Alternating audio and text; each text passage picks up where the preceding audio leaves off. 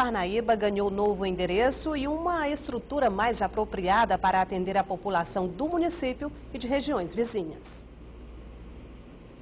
Foi inaugurado no último sábado em Parnaíba o Centro de Especialidades em Saúde Dr. Odival Rezende, que atenderá todos os municípios da macro-região da planície litorânea. São 32 especialidades que o governo do estado, juntamente com a prefeitura e com o ministério, entregam hoje aqui para a população de Parnaíba, mas também para a população de todo o entorno. Né? São cerca de 30 municípios que poderão é, acorrer aqui para esse centro integrado, descentralizado, e aqui ter acesso a 32 especialidades. A solenidade contou com a presença do ministro da Saúde, Marcelo Castro, da governadora em exercício, Margarete Coelho, do secretário estadual da Saúde, Francisco Costa, dos prefeitos de Parnaíba e região, autoridades do Legislativo e sociedade.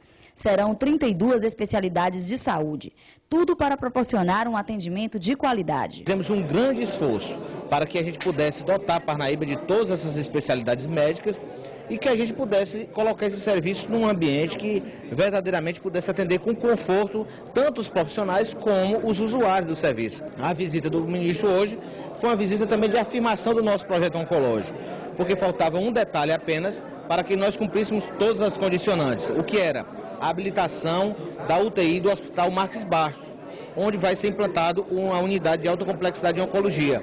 O ministro hoje assinou aqui a habilitação da UTI do Hospital Marques Bastos no SUS. As instalações estão preparadas e com maior capacidade de atendimentos. O SES oferece consultas, exames de eletrocardiografia, ecocardiografia, entre outros. Na solenidade, o secretário estadual da Saúde assinou a ordem de serviço para ampliação do centro de parto normal do Hospital Regional de Seu Arco Verde do município e destacou em discurso a organização dos serviços de saúde e o apoio do Ministério da Saúde e do Governo do Estado nas ações relacionadas à saúde pública. A atenção básica, atenção primária à saúde, ela é responsável por praticamente resolver 80% das suas demandas.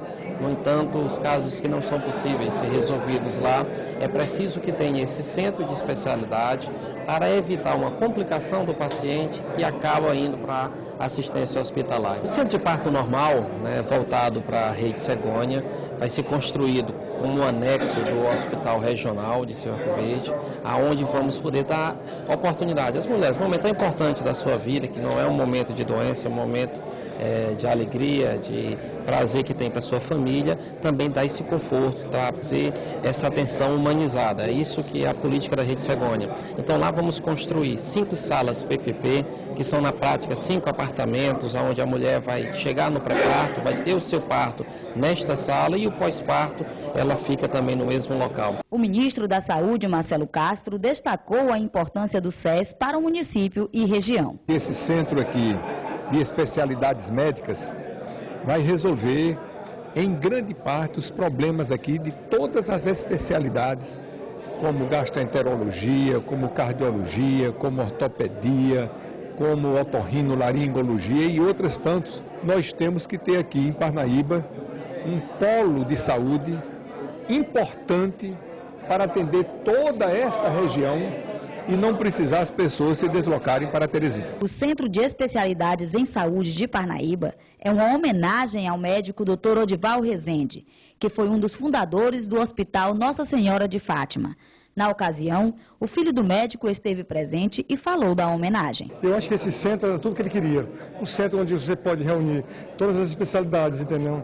Atendendo todos os profissionais e que as pessoas tenham essa acessibilidade num local privilegiado como esse, eu acho que ele está muito feliz, entendeu? Eu acho que hoje a gente tem que comemorar, tem que celebrar, ganha a cidade de Parnaíba, ganha a população que mora nesses 14 municípios da macro-região litorânea.